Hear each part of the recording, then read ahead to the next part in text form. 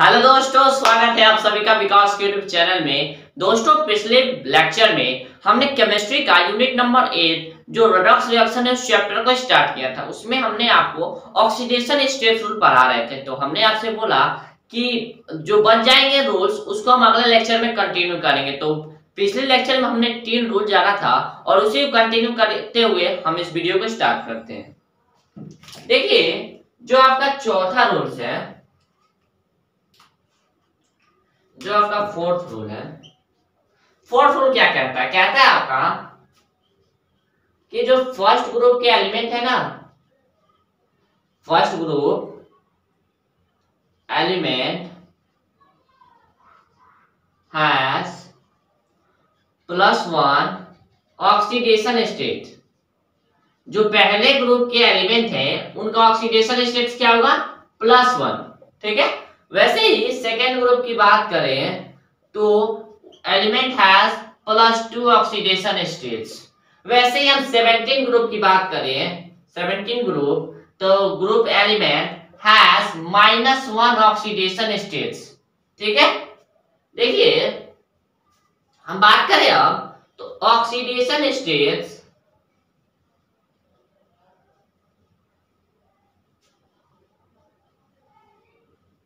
it can be change या oxygen state can be can be change ठीक है? Can be change when they are attached with आप higher या most लिख लीजिए with highly electro negative electronegative element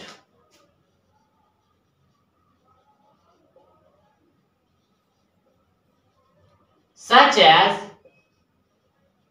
fluorine or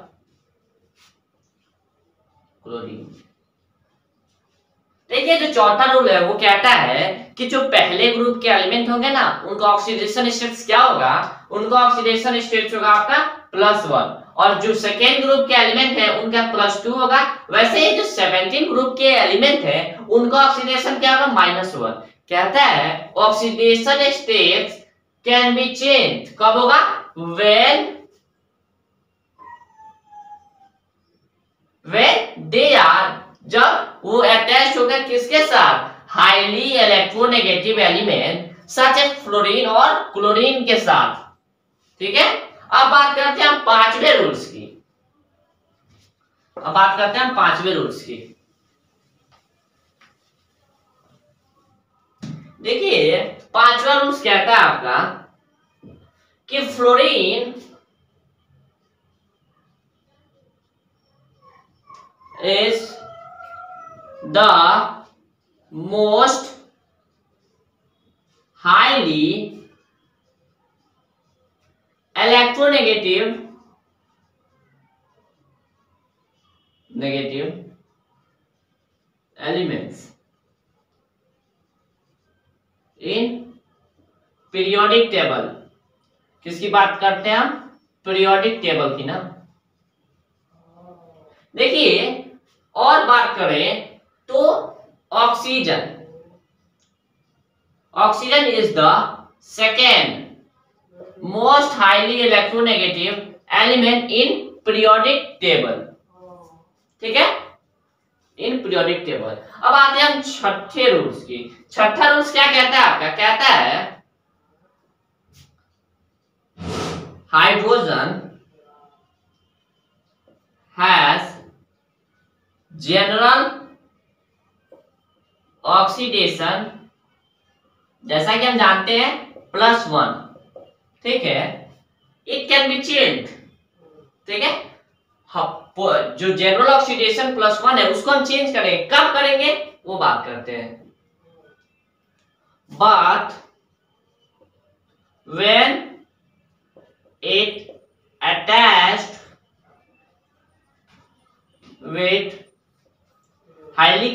या most कहिए highly electropositive element कौन कौन से है भाई? सबसे पहले आपका सचेस करके लिख दे रहे हैं। लिथियम मैग्नीशियम हो सकता है सोडियम हो सकता है आपका कैल्शियम हो सकता है एंड सो हाइड्रोजन है general oxidation plus one but when it attach with highly electropositive element such as lithium magnesium sodium and calcium then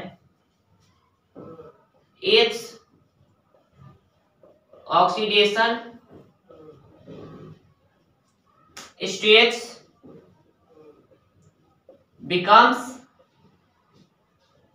minus one कह रहा है छठा रूल आपका छठा रूल कह रहा है कि हाइड्रोजन है जनरल ऑक्सीडेशन क्या है भाई? प्लस वन बट जब वो किसी हाईली इलेक्ट्रोपॉजिटिव एलिमेंट के साथ अटैच होगा, तब वो क्या ऑक्सीडेशन स्टेप शो करेगा? माइनस वन ठीक है? ये हो गया आपका सिक्स रूल अब हम आते हैं सातवें रूल्स पे। देखिएगा, सातवां रूल्स क्या कहता है आपका? सातवां लूज क्या था आपका?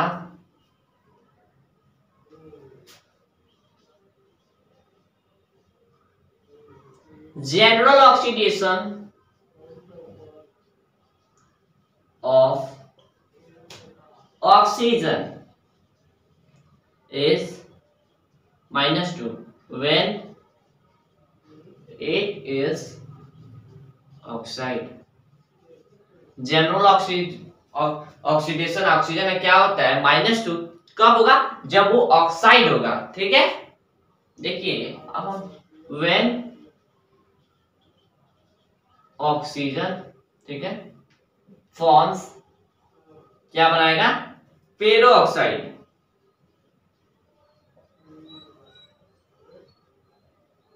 when oxygen forms peroxide, then its oxidation.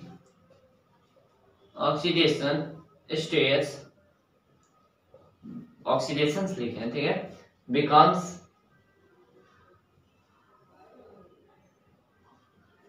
two sorry minus one होगा। देखिए, जब वो पेरोक्साइड बनाएगा, तब उसको ऑक्सीडेशन स्टेट्स क्या हो जाएगा?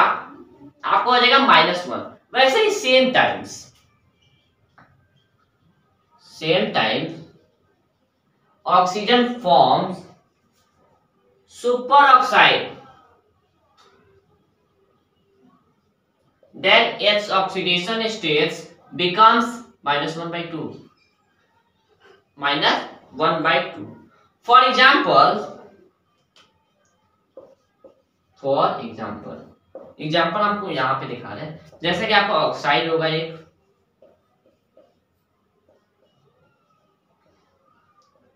पेरो ऑक्साइड सुपर ऑक्साइड ऑक्साइड के एग्ज़ाम्पल की बात करें तो आपका हो जाएगा Na2O माइनस टू ये हो गया आपका ऑक्साइड। अब बात करते हैं हम पेरो ऑक्साइड की। तो पेरो ऑक्साइड हो जाएगा आपका Na टू ओ टू अब बात करते हैं हम सुपर ऑक्साइड की। तो सुपर ऑक्साइड हो जाएगा आपका Na O two minus one by two ये हो गया आपका सुपर ऑक्साइड और ये हो गया आपका सेवेंथ रूल अब बात करते हैं हम एट रूल पे, जो आठवां रूल देखिए, आठवां रूल बताने से पहले हम आपको कुछ की पॉइंट्स बताना चाहते हैं। ठीक है? जिसको हम स्टार से दिखाएँगे। आप अपने नोटबुक में लिख दीजिएगा। ठीक है?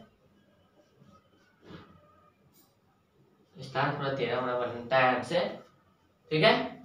If oxygen attach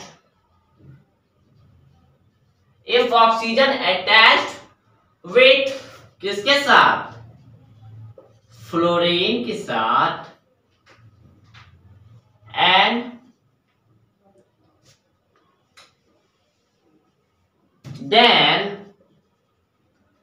its oxidation states becomes positive. जब वो फ्लोरीन के साथ अटैच होगा, तब उसका जो ऑक्सीडेशन स्टेट है, वो पॉजिटिव होगा। जैसे कि माइनस टू और सॉरी प्लस टू और प्लस वन ठीक है? अब बात करते हैं आपकी एटवे यानी कि आठवें रूल पे। देखिए आठवा रूल आठवा रूल कहता है the sum of oxidation state the sum of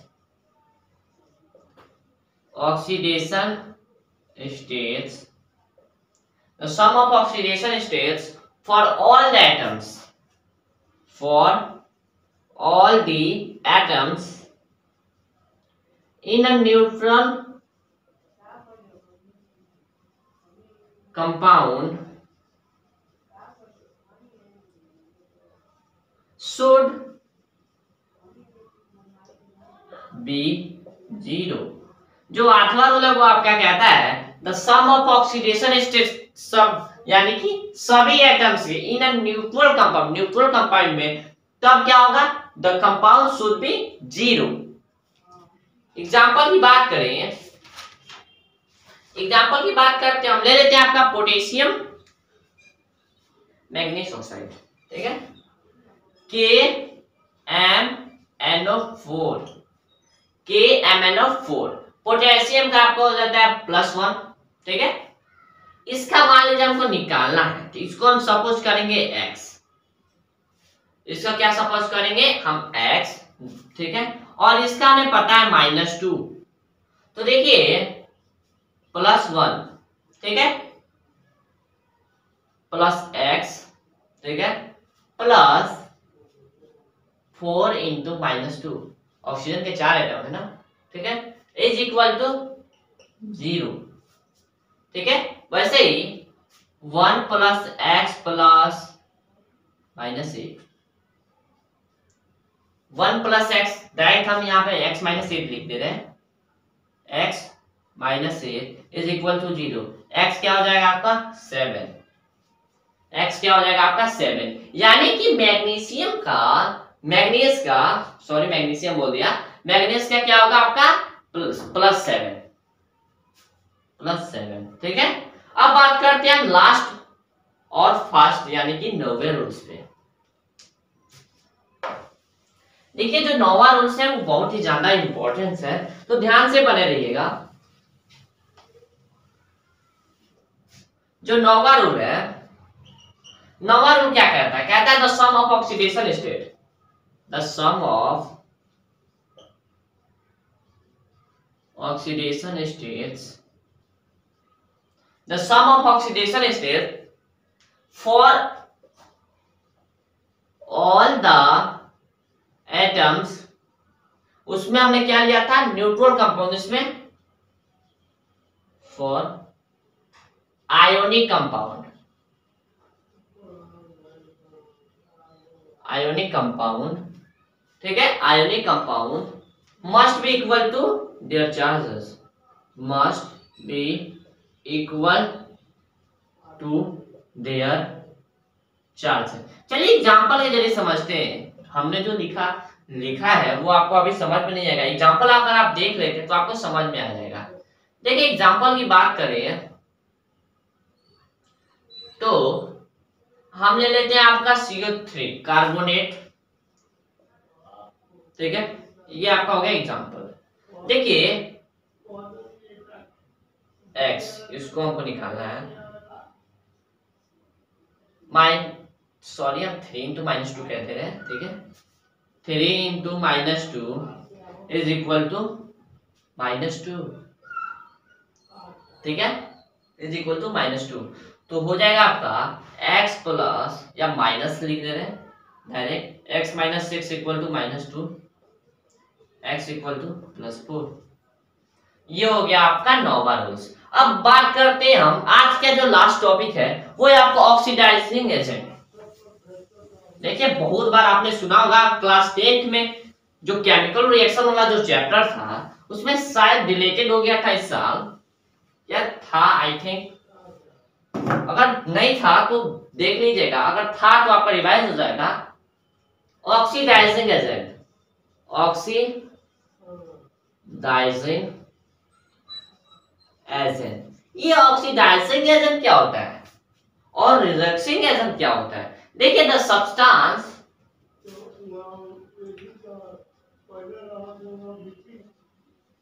the substance which is is reduced the substance which is reduced can act as can act as oxidizing agent.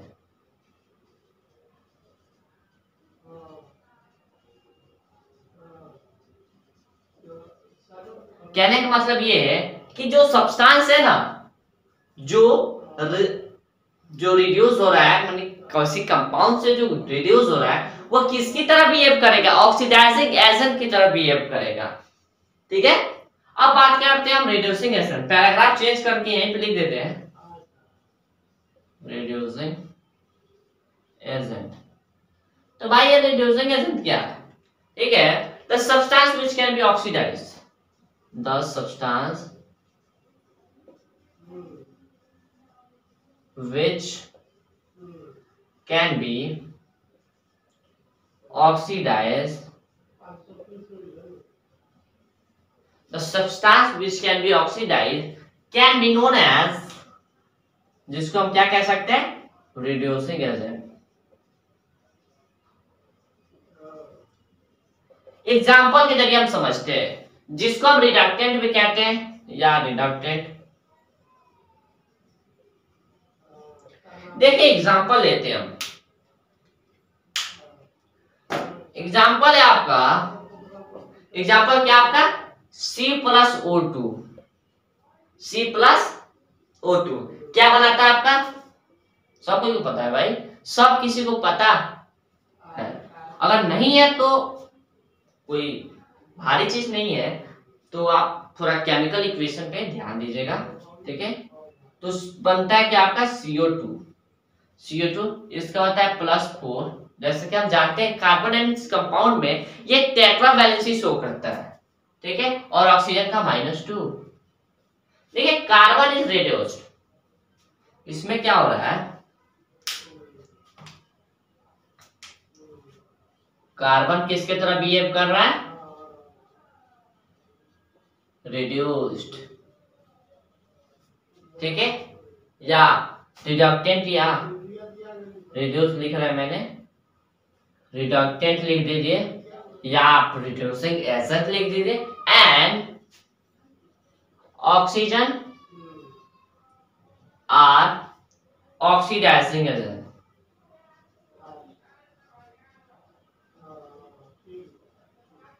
देखिए, बताने का यानी कि ऑक्सीडेशन ऑक्सीडाइजिंग एजेंट और reducing agent बताने का मेरा motive यही था कि बहुत सारे बच्चे ऑक्सीडेशन को ही ऑक्सीडाइजिंग मान लेते हैं। ऑक्सीडाइजिंग एजेंट और रिडक्शन को हम रिडक्सिंग एजेंट मान लेते हैं। तो इसीलिए हम अपने, हमने आपको बताया। देखिए, इसमें क्या है? कार्बन रिडक्टेंट हो रहा है। यानी कि कार्बन देखिए, यहाँ पे कार्बन के पास ऑक्सीजन नहीं, यहाँ पे ऑक्सीजन आ जा रहा है। और यहाँ पे ऑक्सीजन है, वो इसमें जाके मिल जा रहा है। यानी कि ऑक्सीजन इसमें से रिड्यूस ऑक्सीडाइजिंग एजेंट की तरह बिहेव कर रहा है। और कार्बन किसके तरह? रिड्यूसिंग एजेंट देखिए दोस्तों, आज के इस लेक्चर में बस इतना ही। अगले लेक्चर में हम टाइप्स ऑफ़ रिडक्स रिएक्शन को कंटिन्यू करेंगे। तब तक अगर आपको वीडियो पसंद आए तो चैनल को लाइक कीजिएगा शेयर कीजिएगा सब्सक्राइब ज़रूर कीजिएगा। Thank you